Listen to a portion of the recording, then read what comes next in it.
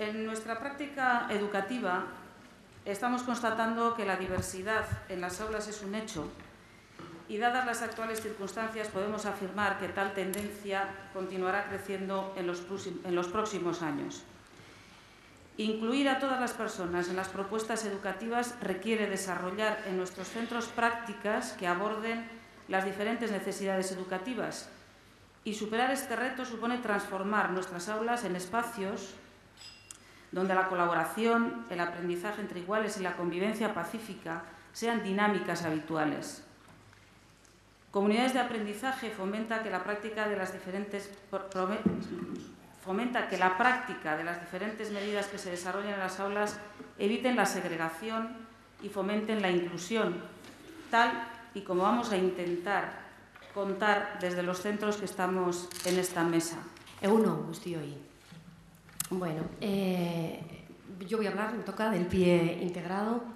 Eh, en primer lugar, bueno, como eh, Sira ha comentado, eh, en primer lugar voy a decir qué son las siglas, qué significan las siglas. Es un proyecto de intervención educativa específica. Ella ya ha dicho que es un proyecto dirigido a aquel alumnado de medio social desfavorecido o aquellos alumnos, alumnas que tienen grave retraso escolar supone este, este proyecto supone un recurso más para el centro, un recurso muy importante para reforzar a aquellos alumnos alumnas que tienen por los motivos que sean eh, graves dificultades eh, académicas. El PIE se puede realizar de distintas formas. Se puede hacer fuera del aula, es decir, sacando el alumnado eh, fuera de las clases a otra aula de apoyo con otro profesor o profesora. Se pueden hacer también agrupamientos flexibles, pero también se puede hacer eh, pie integrado. Vamos a ver cómo organizamos entonces el pie integrado. En el pie integrado, eh, el alumnado no sale nunca de, las, de, las, clases, nunca sale de su aula. Estar siempre en el aula eh, hace posible que todos estos alumnos y alumnas participen de todos los momentos de aprendizaje que se producen en todas las clases, en todos los momentos, en todo el día que pasan con nosotros y con nosotras en el instituto. Hace también que se beneficien de las interacciones que se van produciendo en el aula, con toda esa heterogeneidad que produce un aula, todas las interacciones que se van dando. Eh, y algo muy importante también, Estar en el aula para ellos y para ellas supone también compartir con sus compañeros y compañeras todos los momentos de aprendizaje, algo muy importante para el tema que hoy nos ocupa, que es la, escuela inclusiva. Es necesario que estos alumnos y alumnas puedan conseguir los objetivos que corresponden para su nivel.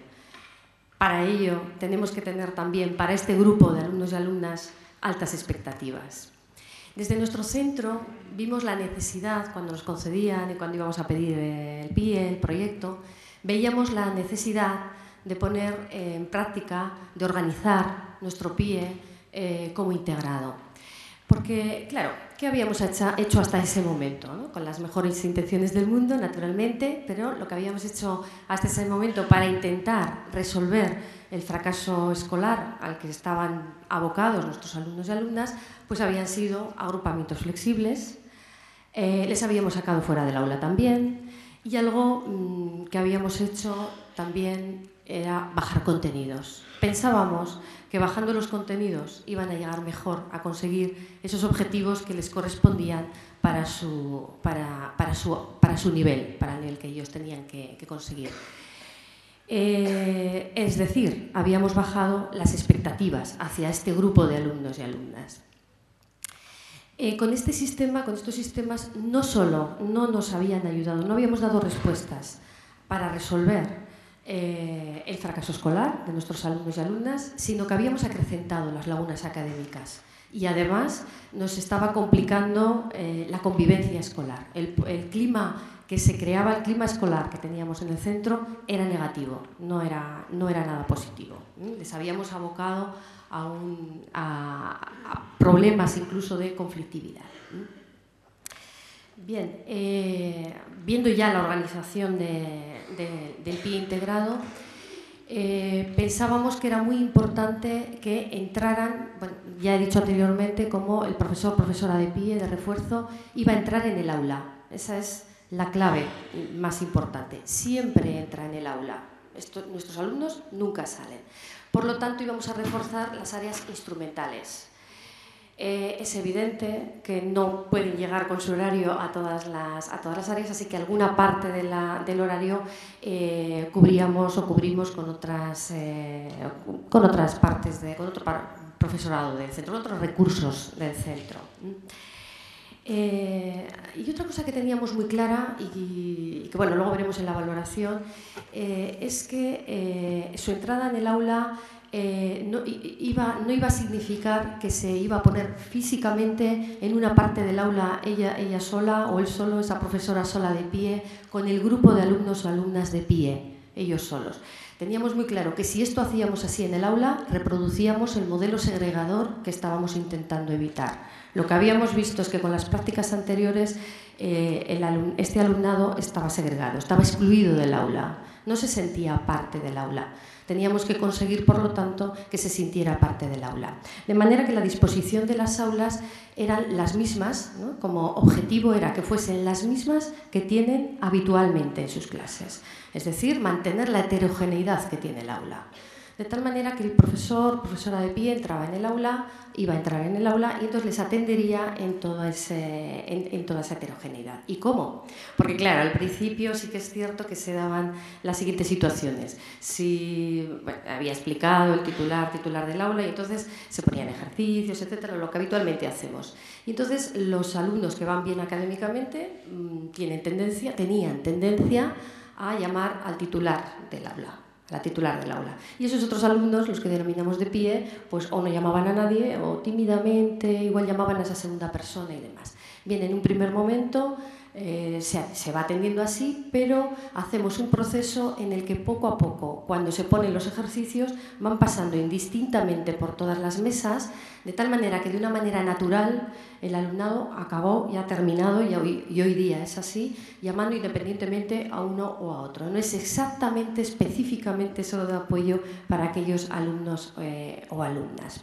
Esto ha hecho que al resolver las dudas eh, ellos se han sentido mucho mejor, eh, y además han visto que también les explican los profesores titulares de aula, no solo aquellos profesores de apoyo, por lo tanto se han sentido parte del aula, algo importantísimo.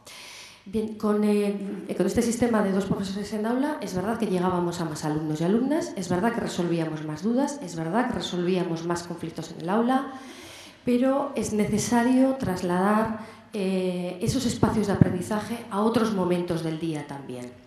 De tal manera que pensamos que sería muy importante que desde el centro eh, nos coordináramos con la persona de mancomunidad del apoyo extraescolar que venía eh, a dar las clases para este tipo de alumnos también y tenemos coordinaciones desde el Departamento de Orientación eh, establecidas cada semana, cada 15 días, se coordinan y entonces hablan acerca de estos alumnos. Pero ese espacio de aprendizaje vuelve a ser heterogéneo otra vez, es decir, no solo van ellos, sino que también van algunos alumnos, alumnas también del resto de la clase y vuelve a producirse aprendizaje otra vez de manera heterogénea. Nos ha permitido esta coordinación eh, saber, poder intervenir en algunas ocasiones. Eh, a veces en el instituto iban bien, veíamos que en el horario lectivo iban bien, pero la de la mancomunidad le dice a la orientadora, que es la persona que se coordina con ella, que iba aflojando un poco. Eso nos ha permitido intervenir. O al revés, en la mancomunidad muy bien, pero nosotros veíamos que iba bajando por lo que fuera y eso nos ha permitido también intervenir. Es decir, esa colaboración estrecha entre ese espacio de aprendizaje fuera del aula y dentro del horario lectivo ha permitido que todo este, alumno, eh, todo este alumnado eh, se sintiera mucho más motivado, trajera siempre los deberes hechos, ha subido el nivel del hábito de trabajo y se ha sentido parte, parte del centro. Era muy importante también la relación fluida con las familias. Es decir, pensábamos que era muy importante colaborar con, las familias para conseguir aquellos objetivos que eh, nos íbamos a proponer. A las familias lo que más les importa son sus hijos e hijas a nosotros como profesionales también. Por lo tanto, teníamos que compartir formas de trabajar con ellos y con ellas. Y por último, las tutorías personalizadas, que está en la diapositiva anterior. Las tutorías, eh, el tener pie dentro del aula nos supone también, nos facilita el tener tutorías personalizadas que consisten en hacer un seguimiento, como antes se ha dicho, hacer un seguimiento, eh, me parece que ha sido Orcasitas, el que ha comentado que, eh, que, hay que hacer ese seguimiento, esa coordinación con el alumnado. Son reuniones eh, como se consideren, según la necesidad que tenga el alumno o alumna, semanal o quincenal, para proponerse objetivos, cumplir esos objetivos, ver por qué no los puede cumplir, ayudarle para que los cumpla en caso de que no pueda ocurrir y también esto en el campo, en el ámbito académico, pero también en el ámbito eh, personal. Es decir, eh, conseguir que también sus relaciones mejoren en cuanto, eh, sus relaciones en cuanto a profesorado y también resto de alumnos y alumnas. Bien, aquí tenemos cómo va mejorando, mejorando la convivencia, se crean más interacciones, etc. Vamos a hacer la, valoración ya de PIE integrado. ¿Qué hemos visto? ¿Qué vemos nosotros y nosotras eh, con el PIE integrado? Bueno, se elimina la estigmatización. Habíamos comprobado, hemos comprobado que la estigmatización, el sentirse excluido del, del grupo, estaba provocando, además ya de los retrasos escolares que trajeran, por los motivos que fueran, además acrecentaba muchísimo más las lagunas académicas. Yo creo que si ponemos un ejemplo de adultos y de adultas, a nadie nos, gusta sentirnos excluidos de un grupo. Yo creo que tanto nuestra familia nos gusta que nos acepten, nos gusta que nos acepte nuestro grupo de amigos, eh, nos gusta sentirnos acogidos. Ellos sentían totalmente, totalmente y todo el tiempo la exclusión porque estaban fuera del aula. Estaban estigmatizados. La gente les señalaba, eran los que salían del aula que necesitan apoyo. Cuando resulta que lo que se ha comprobado también con el PIE integrado es que aquellos alumnos que yo, de los que yo digo que a mí no me necesitan como profesor, como profesora, que los hay y muchos, eh, también resulta que se han beneficiado de todo lo que este alumnado les ha eh, proporcionado a ellos y a ellas también. Han mejorado notablemente su aprendizaje, han mejorado sus notas, de hecho, del alumnado de pie, solamente, y por algunas causas que no vienen a cuento y que son del entorno y demás, solamente ha repetido uno. Se elevan las expectativas de las familias hacia ellos, de ellos mismos hacia sí mismos y del profesorado hacia sí mismo. No bajamos expectativas, subimos expectativas. Y desde luego ha sido muy bonita, desde luego impresionante la colaboración que hemos conseguido con las familias, porque las familias estaban de acuerdo, están de acuerdo en que sus hijos e hijas no deben salir del aula, que tienen que estar en el aula.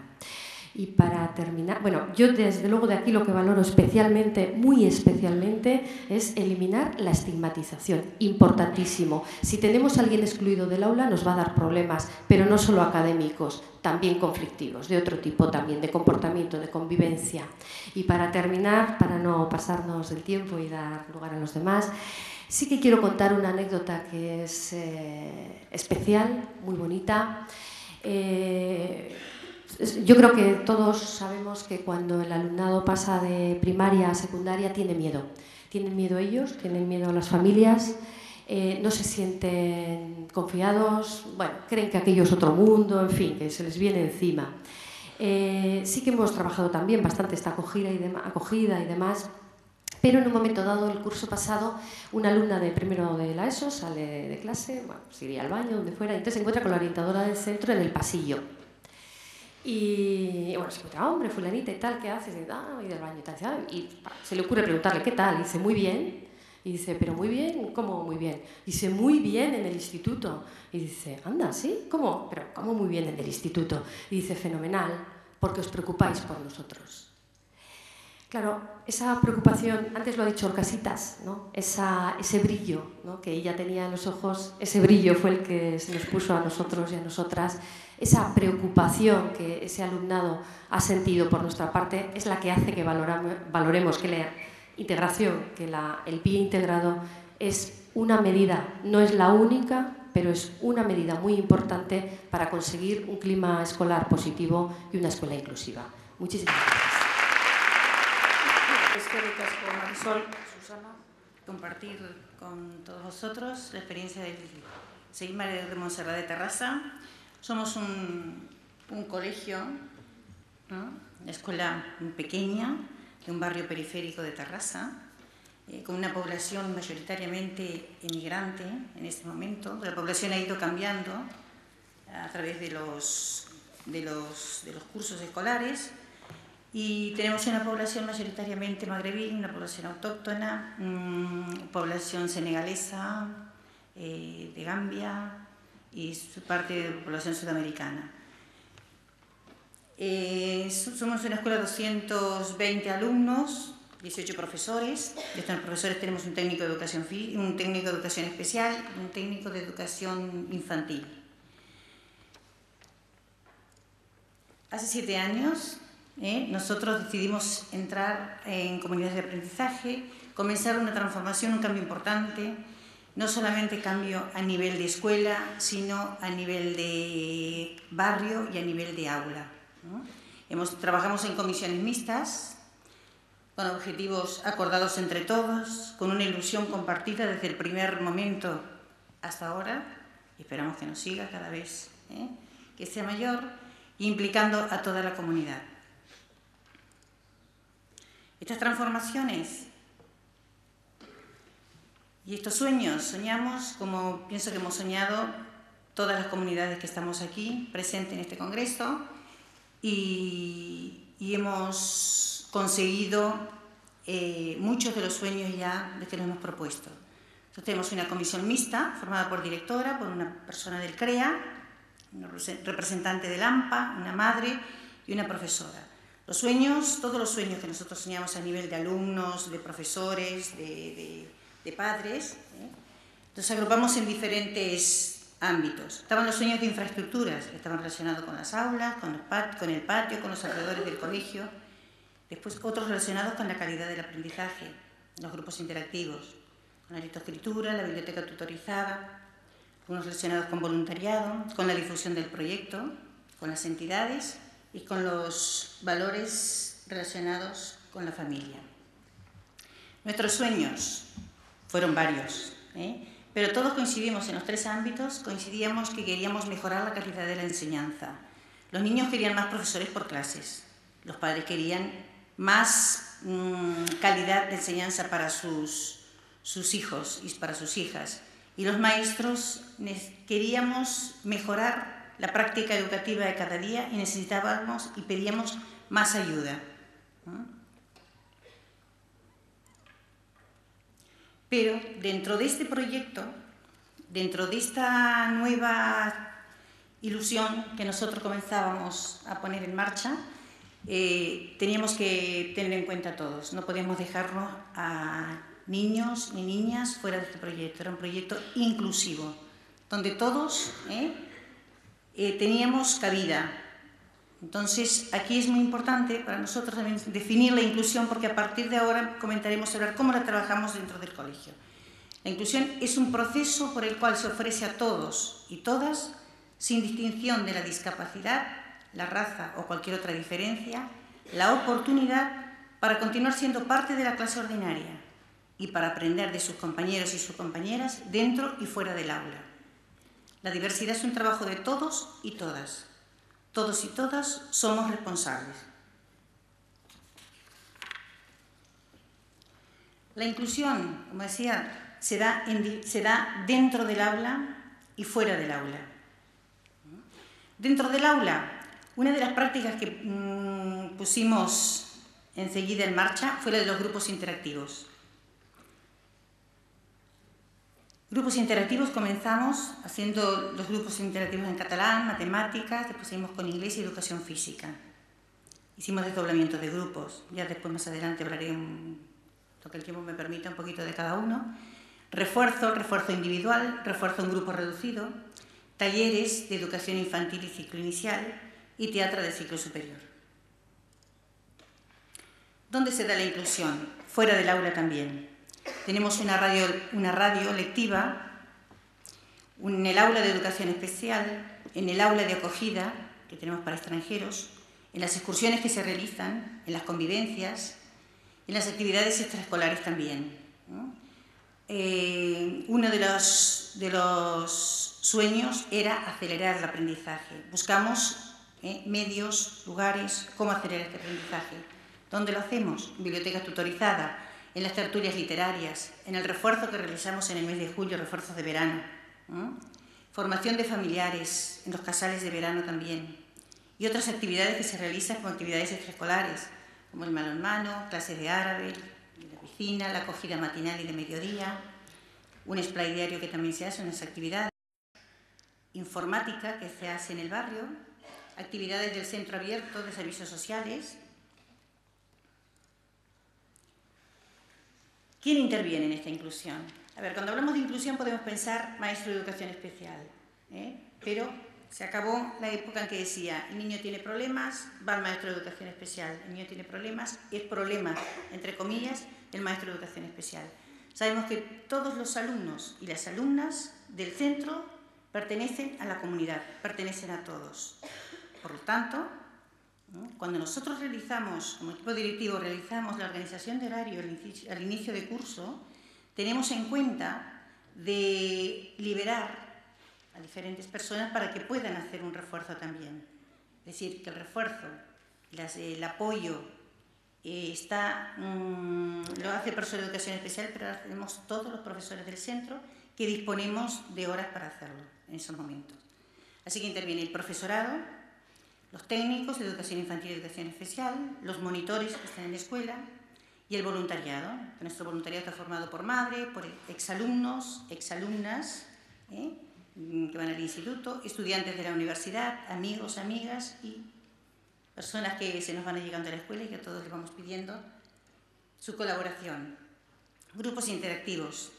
Entonces sabemos qué son alumnos que trabajan con su tutor, con su tutora, realizando cuatro grupos heterogéneos hacemos en la clase. ¿eh? Entonces también yo como profesora de educación especial entro en el aula y estoy trabajando con el profesor también. Los grupos interactivos en qué áreas trabajamos? Comenzamos en el 2001-2002 con catalán y matemáticas, que eran las instrumentales. En un acuerdo de claustro decidimos que teníamos que empezar con catalán, los niños tenían problemas de comunicación, de fluidez del vocabulario, y comenzamos con catalán. Luego con matemáticas. Eh, en el curso siguiente, en el 2002-2003, intentamos también liberar profesores, además de contar con la tutora, con la especialista de inglés, de liberar otros profesores que también pudiesen, que tuviesen conocimiento de la lengua inglesa y pudiesen entrar a las clases para trabajar. Así lo hemos hecho y después incorporamos en educación física. En educación física los voluntarios que venían eran dos ex alumnos que habían comenzado en la escuela a trabajar los grupos interactivos también. Pues una cosa muy curiosa, cuando los alumnos de sexto marchan del colegio, llega septiembre y están en la escuela, ¿eh? diciendo, queremos ser voluntarios, ¿cuándo podemos venir? Y entonces nosotros decimos, bueno, espera que organicemos, veremos cómo organizamos el curso y a partir de ahí ya os iremos llamando.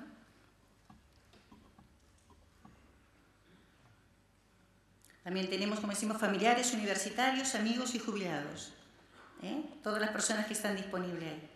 Grupos interactivos, las actividades que hacemos. Ahora yo pasaré rápidamente unas imágenes porque hablan de grupos interactivos y como el tiempo no lo permite, vamos a adelantarnos un poquito.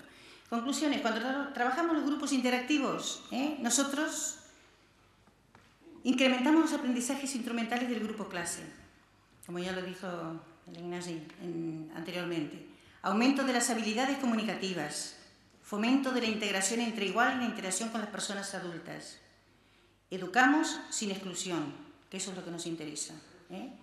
Y fomentamos los aprendizajes en valores, la solidaridad, la convivencia, la tolerancia, la diversidad cultural psíquica o física. Hemos visto que niñas que al principio no tenían eh, paciencia, entre comillas, para poder esperar cuando ellos acababan antes y veían que su compañero de al lado tardaba más y se ponían impacientes, eh, poco a poco fuimos reconduciendo la actitud hasta que fueron eh, fieles colaboradores con la persona que tenían al lado, con el compañero que necesitaba ayuda. Desdoblamiento de grupos. No, solamente trabajamos en grupos interactivos. Cuando en un curso eh, está el tutor, siempre intentamos de que haya un voluntario o un profesor que está liberado en ese momento y que se puedan hacer dos grupos heterogéneos dentro del aula. Las actividades siempre son planificadas por el tutor, pero son llevadas a cabo por las personas que, que están en el grupo en ese momento.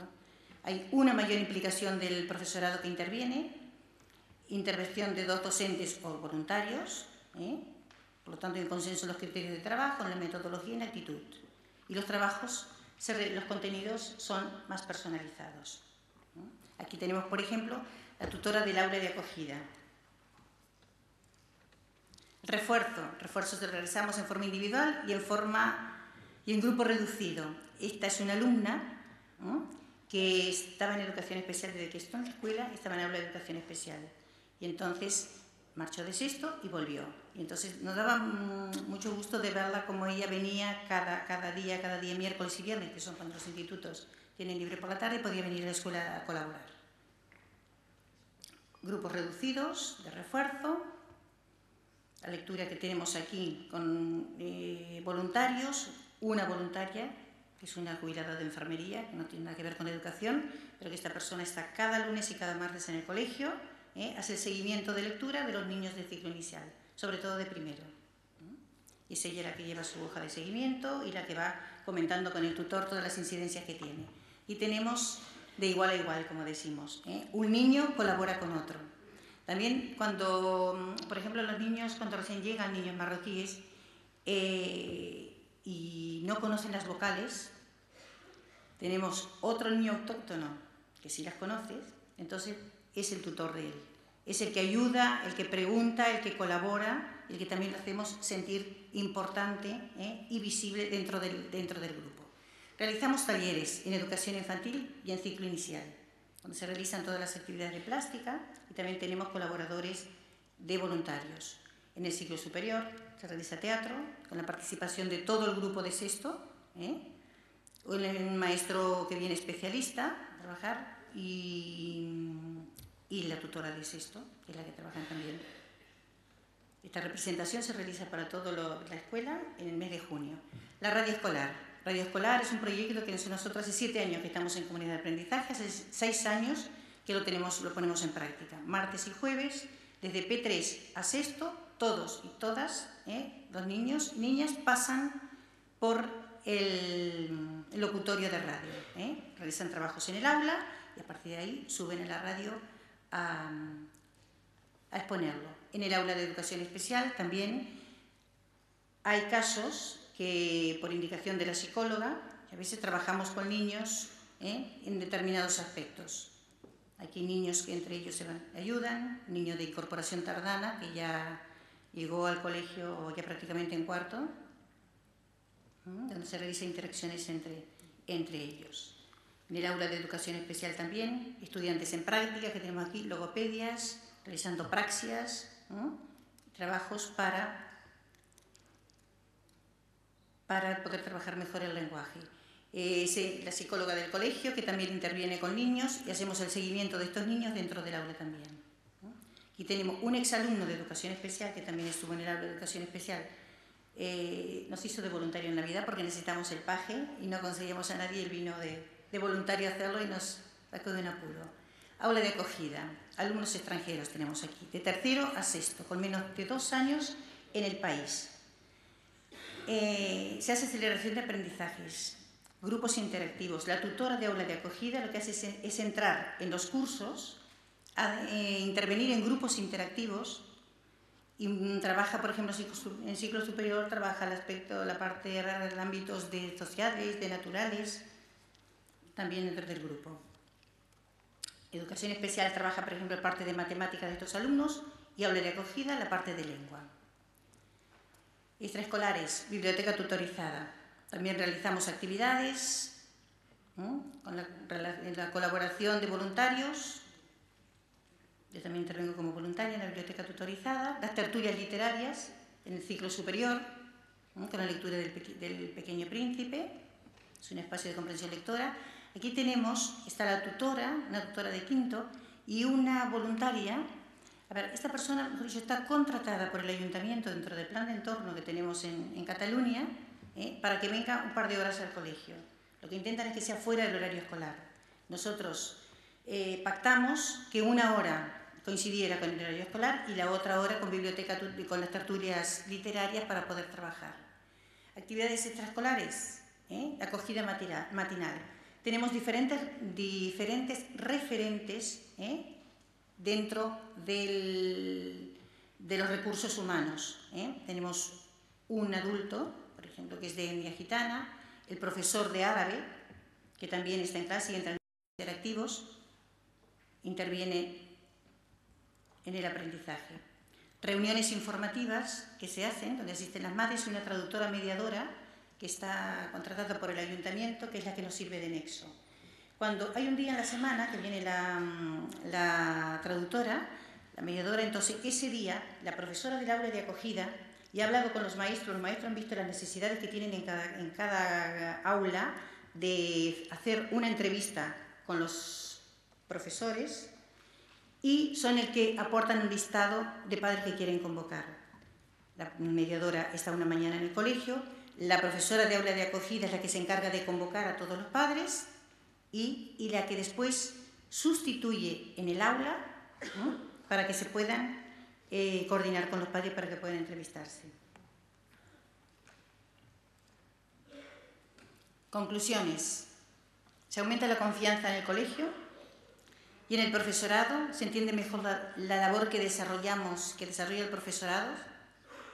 Los padres dicen que se convierten en nuestros cómplices. Hay más acercamiento con las familias de otras culturas, nos conocemos más, aumenta la tolerancia y la comprensión. Pero a nivel de escuela, ¿qué escuela queremos nosotros? ¿Eh? Y por la que estamos trabajando, la que continuamos trabajando, y fue una escuela con ilusión.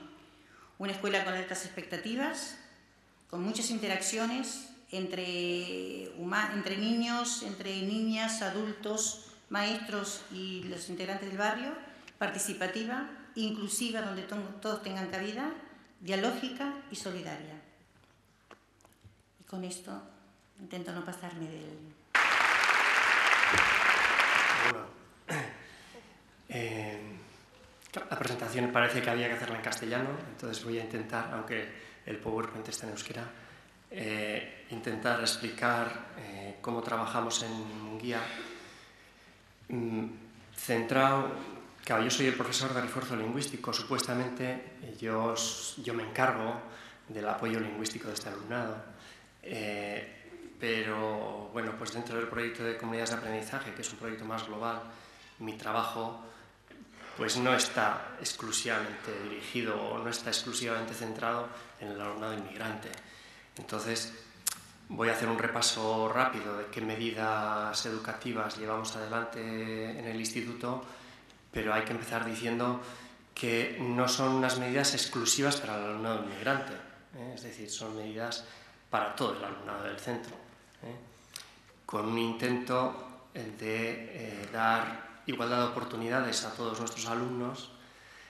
Entonces, pues bueno, pues ahí evidentemente el colectivo de alumnado inmigrante está directamente implicado, son chavales que llegan pues ya mayores al sistema educativo, algunos nos acceden ya desde la primaria, pero muchos nos llegan directamente a la secundaria. Tenemos poco tiempo para intentar una escolarización exitosa para que consigan el título de la ESO. En fin, bueno, las circunstancias de la ESO son un poco eh, especiales en ese sentido. Nosotros creemos que somos más iguales que diferentes. Entonces, mm, de ahí, pues un poco comentaros eh, pues cómo es el centro. Es un instituto muy grande, complejo, diverso, en todos sus eh, ámbitos, claro. Porque sí, es verdad que tenemos un alumnado muy diverso, pero el profesorado somos muy diverso. Somos 108 de claustro. Imaginaros, vosotros que conocéis que somos del gremio, ¿no? Eh, cómo poder acordar, cómo poder llegar a, a unar criterios en muchas cosas, pues es difícil, es difícil.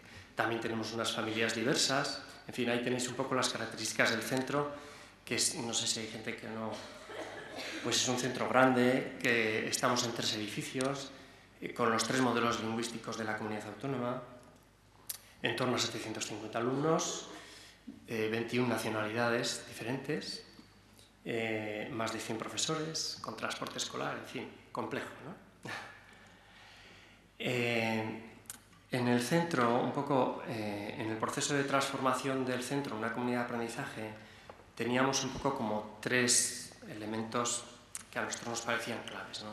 Por un lado era eh, la convivencia pacífica eh, entre todas las culturas, eh, el aumentar el aprendizaje igualitario y la inclusión de todos y todas. Ahora se habla mucho de inclusión, en otras épocas hemos estado hablando de integración, todavía hoy muchas veces esos dos conceptos los utilizamos como sinónimos y, no, no son sinónimos, es decir, cada uno tiene sus especificidades.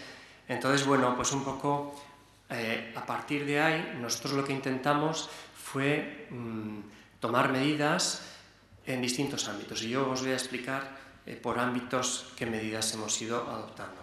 Eh, a nivel de centro, a nivel de aula y a nivel de atención personalizada.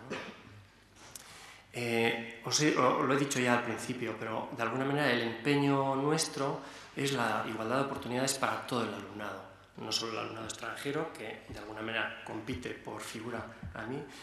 Y una de las cuestiones importantes que intentamos trabajar con todo el alumnado es hacerles ver la importancia que tiene sacar el título de la ESO en este país. Es decir, todos sabemos en qué van a trabajar los los alumnos y alumnas que no consigan el título, el título de la ESO y que no van a poder acceder a un módulo de formativo o a un bachillerato, etcétera, etcétera. Entonces, bueno, pues es un poco el trabajo que estamos intentando llevar adelante. A nivel de centro, hay una serie de cosas que, llevamos mm, adelante, desde la acogida, eh, el fomentar la participación de todas las familias, eh, las comisiones mixtas de trabajo, mm, el definir y consensuar la norma, es un trabajo que ya se empezó hace dos cursos, ¿no? con un eh, proyecto de formación en todos los ámbitos. La ampliación del horario escolar, es decir, nuestros alumnos tienen que seguir aprendiendo fuera del horario escolar, igual que lo hacen nuestros hijos y nuestras hijas. ¿no? Lo que pasa es que en ese ámbito no todos tienen las mismas oportunidades. Entonces, desde el centro intentamos facilitar o, por lo menos proponer que, eso pueda ser. Eh, y conocer y compartir todas las culturas. Ese es otro un poco de los retos a nivel de centro. Que esas culturas, además de que esos alumnos que ya visiblemente eh, son diversos porque tenemos asiáticos, tenemos negros, en fin, que eso ya es evidente, pero que todo el bagaje cultural y que traen y que aportan este alumnado pues sea una realidad ¿no? en nuestro centro y en nuestro. A nivel de aula, pues son cosas que ya ayer y hoy pues se están mencionando mucho, ¿no? pues que todos los recursos entran dentro del aula, entonces en el aula frecuentemente y en muchas asignaturas estamos más de un profesor, eh, que todos los refuerzos, si del profesor de refuerzo lingüístico, si de las profesoras de pedagogía terapéutica, si del profesorado que por el proyecto PIE tenemos crédito horario de dos, profesores y medio, todos esos recursos entren en el aula. Eh, el trabajo en grupos interactivos, eh, el trabajar la lengua desde el currículum, es decir, uno de los planteamientos que yo creo que hace que yo esté aquí y no otros PRLs, que yo creo que además se está trabajando bastante bien en general, por lo menos yo conozco eh, experiencias que se está trabajando muy bien, es que con este alumnado que nos llega, con la edad que nos llega, el tiempo es muy limitado, entonces no podemos esperar a que aprenda el idioma vehicular del centro para que pueda hacer cosas eh, que le compiten en el currículo que le corresponda según el nivel en el que esté. Es decir, empezamos haciéndolo así porque las orientaciones iniciales para los profesores de refuerzo lingüístico era que tú te cogías a tus alumnos inmigrantes y te los sacabas, tú hacías tu programación de euskera o de castellano dependiendo de lo que fuera. Entonces el primer curso yo estuve en el instituto hacíamos eso, es lo que hacíamos el 90% de los PRLs en esta comunidad. Pero claro, la evaluación final en junio no era tan dramática como para decir que no aprendieron nada. Algo aprendieron, pero no era significativo y desde luego no cumplían las expectativas que teníamos, que habíamos puesto. Entonces, claro, fue donde empezamos a decir, bueno, no, esto, donde más interacciones se dan es en el aula, eh, lo que es significativo para este alumnado es lo que pasa en el aula y su grupo de iguales, tengámoslos ahí, que es donde van a interactuar más. ¿no? Y las interacciones las harán en el idioma que puedan y van a eh, sobrevivir como puedan. Es decir, no es dejarlos en el aula y decir, bueno, ahí estás. ¿no? Es decir, es como cuando se hablaba de la euskaldunización y decíamos, no, si está en un modelo D, solo con lo que hay se oye va a aprender. Ya sabemos que no. Una lengua se aprende haciendo cosas con la lengua, no se aprende solo con un contacto pasivo. Si no, les pondríamos delante de la televisión y esa experiencia también se ha hecho, ¿no? Y no han aprendido. Se aprenden algunas cositas de vocabulario, pero bien poco. Entonces, el objetivo y, la apuesta nuestra es que estos chavales aprendan el idioma, el euskera o el castellano, eh, en la medida que hacen cosas en el aula. Cosas de guisarte, de ciencias, de gimnasia, de música, de plástica, del área que corresponda. Porque además eso es lo que les motiva, eso es lo significativo para ellos. Su grupo de iguales, ¿qué hace? Estamos con adolescentes y el grupo de iguales es la referencia para todo, para todo, nos guste a nosotros o no. Nosotros somos una referencia, pero por desgracia más bien lejana o más bien, eh, bueno, pues estamos ahí, ¿no? Algunos nos consideran amigos, pero no todos. Entonces, eh, sus referentes están ahí, sus referentes son los iguales. Y lo que nosotros hemos comprobado desde que estamos trabajando así es que muchas veces eh, ellos hacen aprendizajes eh, que nosotros no, no, los tenemos planificados o no los tenemos como organizados para que los hagan, ¿no? Y dice, uy, ¿y este cómo, cómo es que ha conseguido expresarse así o decir estas cosas en, en euskera o en castellano si, si no lo teníamos nosotros programado para que eso se diera todavía, ¿no? Bueno, pues eso se da. ¿eh? Y en la medida que están en su grupo de referencia y hacen cosas del currículum en ese idioma, con las limitaciones que tienen y con los apoyos que tienen, pues ellos van, van aprendiendo. Claro, con apoyos, es decir, no es abandonarles en el aula, ¿eh? Eh, a nivel personal, a nivel de atención individualizada, eh, es muy importante que estos chavales se sientan atendidos. No solo estos, todos los chavales quieren ser atendidos. En ese sentido, la valoración que nosotros hacemos y, que ellos nos devuelven es que todos los chavales con este tipo de medidas se sienten más atendidos, se sienten mejor dentro del aula, sienten que están aprendiendo más, ¿eh? que las cosas van de otra manera. Bueno, ellos y sus familias, claro. También utilizamos el tema de las tutorías individualizadas como apoyo personal y, ¿no? y también eh, a nivel de la ESO es un recurso muy bueno es el utilizar a los propios alumnos del centro como alumnos acompañantes, algunos les llaman embajadores, alumnos guías, en fin.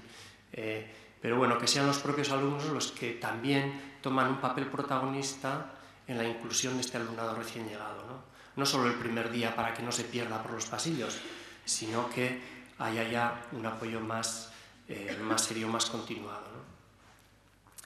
Eh, voy a acabar, quiero ser breve porque me parece que es más interesante que podáis preguntarnos cosas.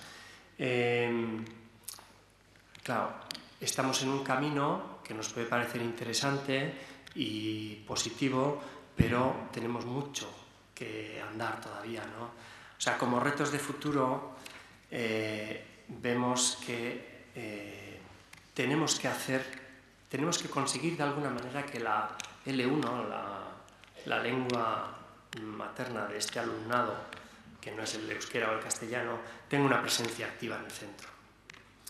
Hacemos cositas más o menos simbólicas, estamos intentando organizar este tema de alguna manera, pero la estructura de la no es fácil de romper.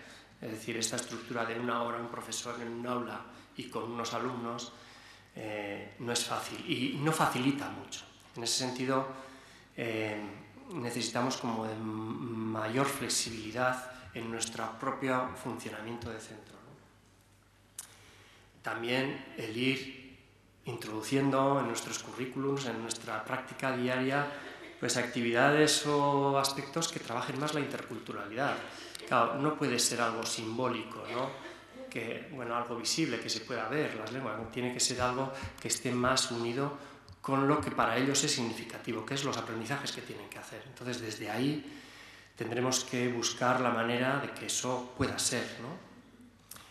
Eh, y bueno, pues no es una frase mía, la dijo Elizabeth Coelho hace poco, bueno, ya se la había oído, pero ¿no? que de alguna manera nuestra función fundamental dentro de la enseñanza es hacer fácil y agradable los aprendizajes. ¿no?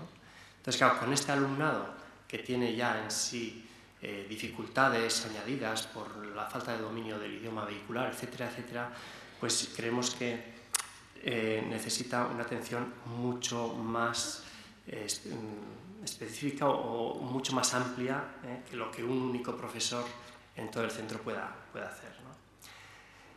Bueno, conclusiones. Pues pues yo creo que son de sentido común, no, no son invenciones mías. Es decir, el hecho de migrar es un reto impresionante. Es duro migrar. ¿no? A mí siempre me gusta ponerme un poco como en la situación, si a mí me tocara migrar con mi familia, ¿qué me gustaría para mí y para mis hijos en el centro educativo donde yo les lleve? Entonces, en ese sentido, eh, bueno, el poder, eh, creemos que el centro puede y debe ayudar en ese reto. ¿no? Sea, nos parece que es algo que, nos, estamos como obligados. ¿no? Eh, dar la bienvenida a, sus, a ellos y a sus familias. ¿no? Y, crear aulas en las que hay un ambiente de, bienvenida, de apoyo, de reconocimiento mutuo. El tener en cuenta su identidad, su historia, su lengua, ¿eh? el que eso no sea algo que, ay, sí, sí, tú sabes esto, ¿no? ¿Cómo se dice que puede estar bien en un momento concreto, pero que no sea eh, como esa casi caricatura, ¿no? de que en un momento concreto le preguntamos cómo se dice en su idioma, no sé qué. Eh, el vivir la diversidad, esa diversidad que tenemos, con una ventaja y un enriquecimiento mutuo. Eso, has dicho así, es fácil, pero en la realidad de, por lo menos en nuestro centro, eso no está siendo fácil. Es decir, todo lo que nos es eh, ajeno, desconocido, nos da miedo. Y nosotros tenemos en el centro alumnado, tenemos compañeros profesionales, tenemos familias incluso, que el hecho de que haya un porcentaje de alumnado inmigrante bastante elevado les da miedo.